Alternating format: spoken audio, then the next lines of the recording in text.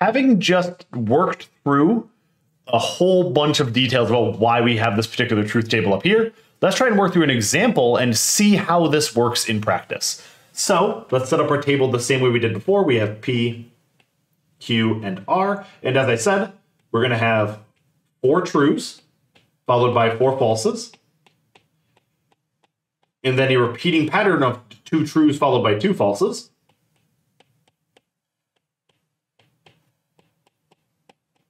And then a final column that is alternating true falses. Some people like to permute this table to make the first column go true, false, true, false, true, false, true, false, true, false. Then the column after that will go two trues, two falses, two trues, two falses, and proceed in that manner. If you like that methodology more, feel free to do that. I just happen to choose this one. So let's do exactly what we said before and start with the innermost parentheses. You might say, well, there's kind of two innermost parentheses.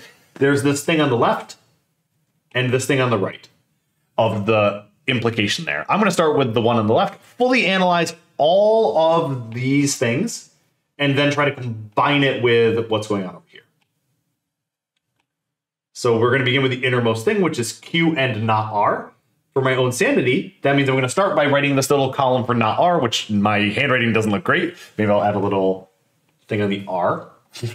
it's not much better. Uh, to signify that it's not a backwards negation or something weird. And then all we're doing is we're flipping that R column to be alternating falses and trues instead. So we're going to have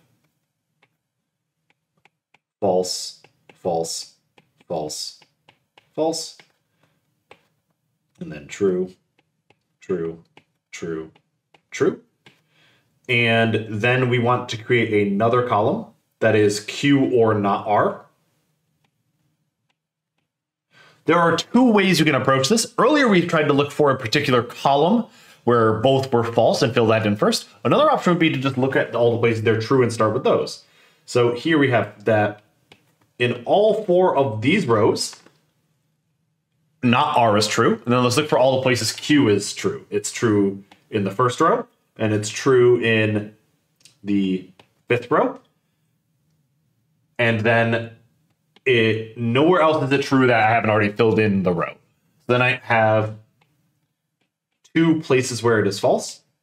Hopefully I kept all my columns lined up well enough here. It's sort of easy on not lined paper to mess this up, so be a bit careful. And now I want P implies this thing. And this is the one that most people find confusing. So let's try and make sure we do this correctly. I'm going to scoop my truth table over a bit. We have P implies that column. I'm going to show you a cool little shorthand some people do, which is take this column and just give it a name. I don't want to co keep copying down those symbols. Maybe I'll find it tedious in the future. I'm just going to call that whole column Q or not R, so a new variable A.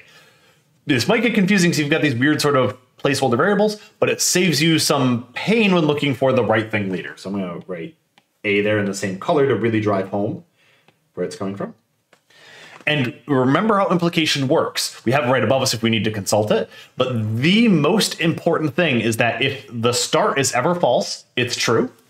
So in these bottom four rows, the start, the antecedent, the premise is false. So in all of those rows, it's automatically true. I don't care what A is, it's totally irrelevant.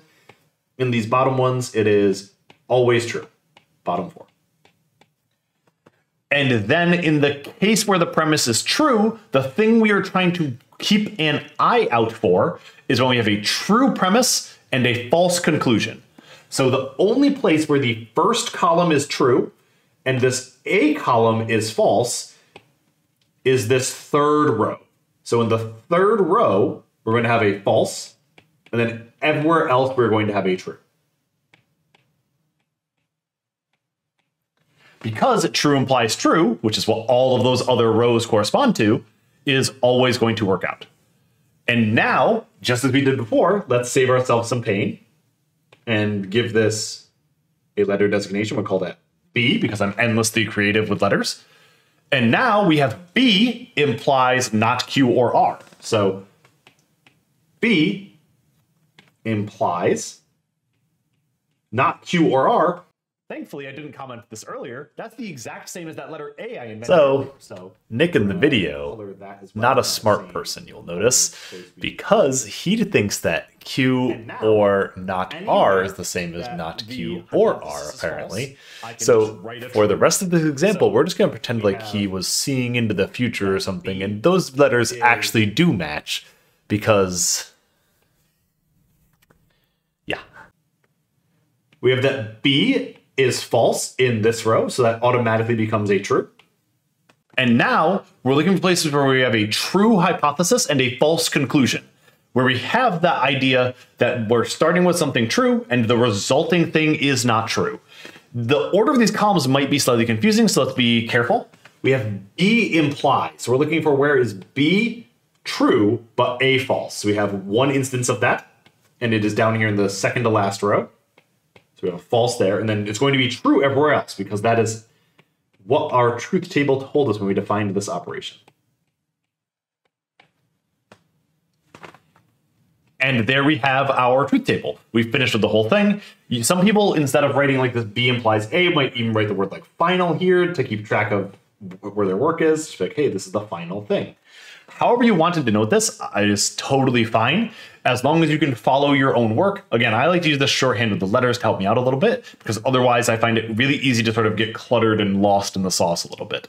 As you can hopefully tell, implications are slightly more confusing to work with in that you, they're just not as intuitive with English as the other things. There are a couple of ways you can track this. Uh, We sort of demonstrated both of them here. One way is that that truth table, if we go look at it again, only has one place that it's false. It's when you have true implies false. You can just quest for that that row. If you see it, fill in a false, and then just fill in trues everywhere else. That is one way to do it. Or you can do what I didn't identify some other properties like P being false, automatically guaranteeing that it's true. Whatever method you prefer, pursue it. There's plenty of correct ways to do this. But the important thing is to make sure you got the truth table correct so that you can always go back and check against everything if you really need to. As you can probably also tell, these things can quickly become a bit unwieldy to write down, so feel free to use whatever shorthands you need to help you with just translating that into work that can be shown in a comprehensible manner. Mine maybe not so comprehensible because I decided to write over top of the question prompt, so apologies for that.